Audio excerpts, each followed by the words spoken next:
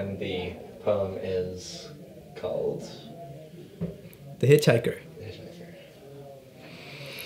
And it goes like this A thousand people drive by, no one pick 'em up. Everyone assuming that he gonna stick 'em up.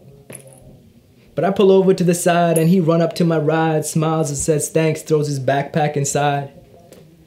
And he smells a little funny, but who am I to judge just because I got some money and stay fresh with my scrubs?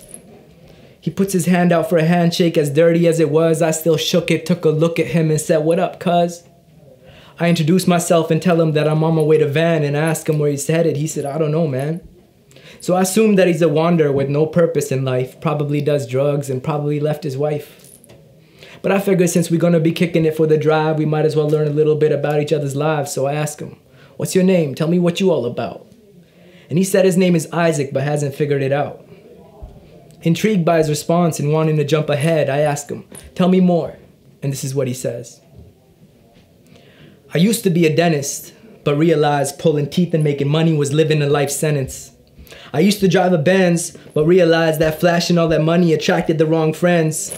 And one day I read Zen, and it made me reconsider my decisions and my vision in a sense. At this point, I thought he's full of it and he's a lunatic. So I tried to drown him out, and I turned up the tunes a bit. But he turned them back down, smiled, and said, Wow, hope you appreciate this meeting, man. It's been a long while. I said, What you talking about? I never seen you before. He said, When you look in the mirror or look in your core, who do you see? Who do you be? When you walk on your path, are you true to your feet? I know rap is your art. Are you true to your peeps? Do you rap to your heart or just studio beats? Pleased by the fact how he knew that I'm an artist when I'm not even that famous, I said, Continue regardless. He said, Everything you're saying in your lyrics is miraculous, but only if you practice what you preach and stay accurate.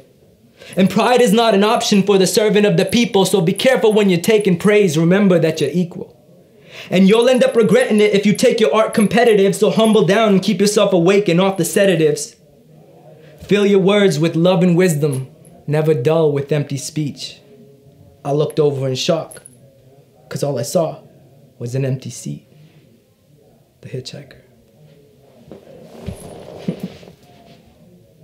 Ya dig?